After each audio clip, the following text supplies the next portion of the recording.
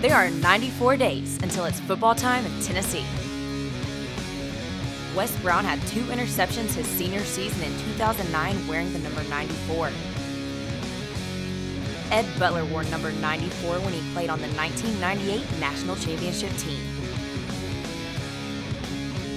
So remember, Vol Nation, there are only 94 days until we kick it off against Bowling.